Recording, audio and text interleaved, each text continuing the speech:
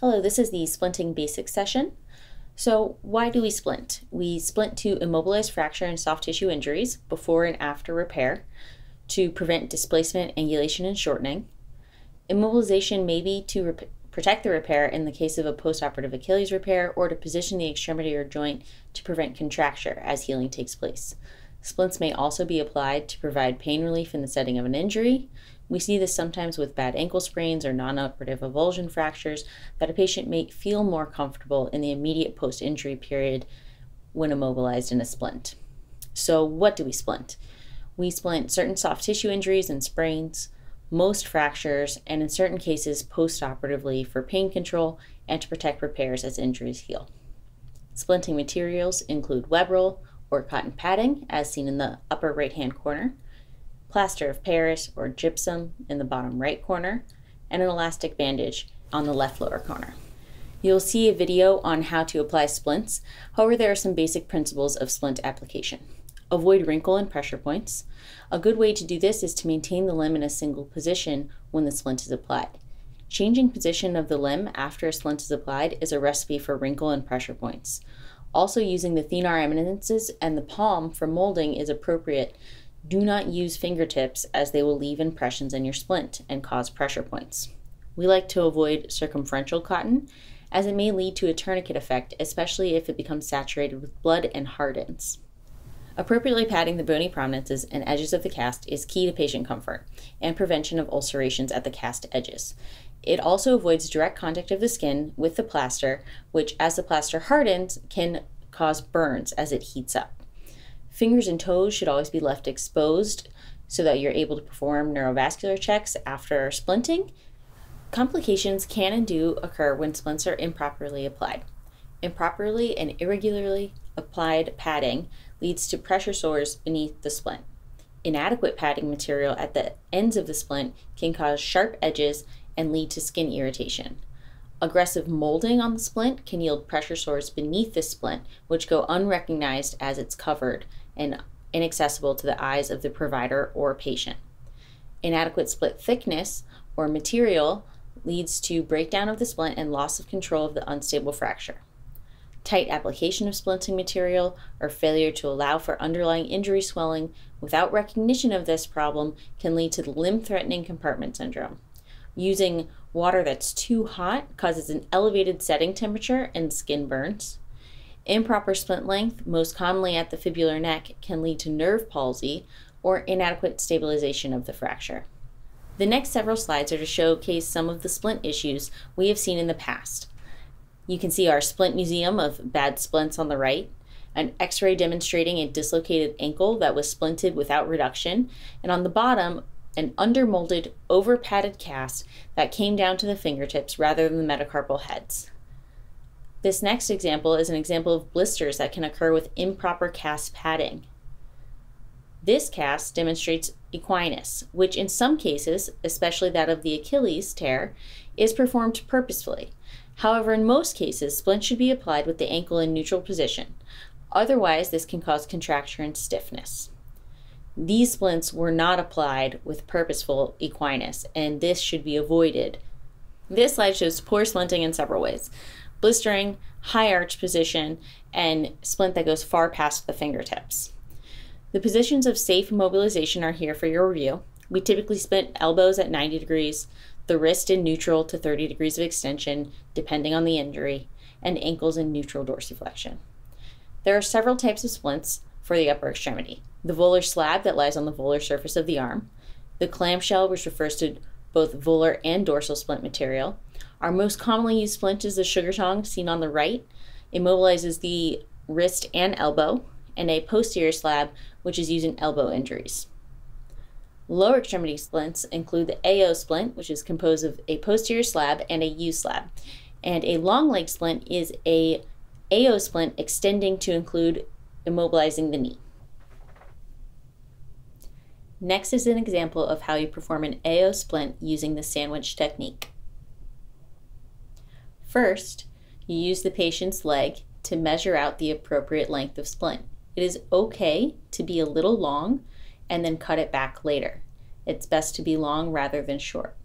Next, you lay out the splint material as you see here and roll out your plaster. Plaster should be, be between 10 and 12 layers thick. This generally takes one and a half rolls of plaster. Next, the U slab is measured. Again, the plaster is rolled out. Next, the cotton padding or web roll is measured the same length as your splint, perhaps a little longer at the edges. We usually have about three layers of cotton padding on the side facing the patient and one to two on what will be the outside of the splint.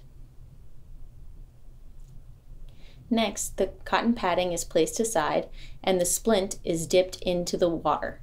You should hold each end of the splint as you see demonstrated and rub the splint around, then lift it up by one end and use two fingers to lamellate the edges. This helps take out wrinkles and smooth the plaster before it is applied. Next, it is added on to the previously rolled out cotton padding and smoothed once again to remove any more wrinkles. The outside layer, being one to two cotton padding thick, is now rolled on top. The splint is picked up and placed onto the posterior aspect of the leg, starting at the metatarsal heads and ending at the calf. The assistant holds it in place as the next portion of the splint is dipped, lamellated, and placed as a U mold. An ace bandage is then used to secure the two splints into place, forming an AO splint of a U and posterior slab. Excess padding at the tips of the toes can be folded back and secured with an ACE bandage. If there's excess splint or plaster material, it should be cut using scissors to prevent excess buildup of splint material. Next, the mold is placed, depending on what kind of splint you are placing. The sugar tong splint is frequently used to immobilize wrist and forearm fractures. In addition to immobilizing the fracture site, it prevents pronosupination. A length of plaster is measured extending volarly to the distal palmar crease, down around the elbow, and dorsally to the metacarpal heads. 10 to 12 layers of plaster are measured on the back table. Lengths of cotton cast padding are measured just longer than the plaster, with 3 to 4 layers of padding which will face the skin, and 1 to 2 layers which will face away from the skin. A hole can be cut in the first ace bandage to allow it to be passed easily over the thumb. The plaster is dipped in room temperature water and excess liquid is removed.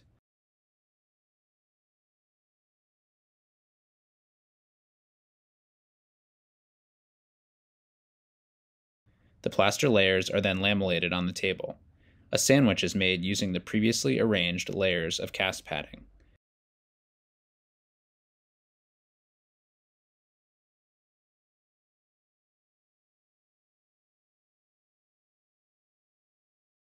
The sandwich is wrapped around the elbow and secured with ace bandages.